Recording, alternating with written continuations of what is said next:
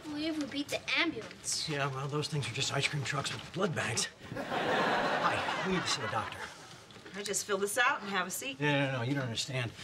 He hit his head. He's bleeding. Did he lose consciousness? No, I got a little woozy, though. Follow my finger.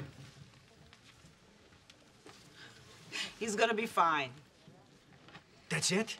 Bup, bup, bup. He's gonna be fine?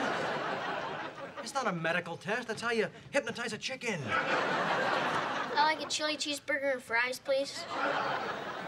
You see, he's hallucinating. Can you please just get him into a doctor? Well, you need to fill this out first. Oh, come on. This is gonna take forever. Can't we do this later?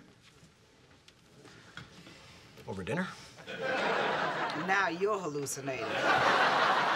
Jeez, come on, buddy. All right. Let's see. Last name, Harper. First name, Jake. Ub?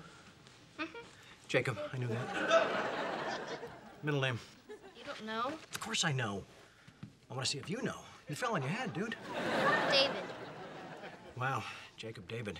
They went full Old Testament on you, didn't they? Uh, age 10. Allergies? I don't know. Is there anything you eat that, that, that makes you sick? I had a worm once.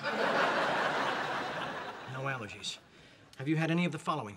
Uh, measles, I don't know. mumps, I don't know. chicken pox? Is that the one with the spots? Yeah. I don't know. All right, we're just gonna vote the straight no ticket. Family history? Yeah, well, your grandmother's always been a pain in the ass. Men, men, men, men, manly men, men, men. Men.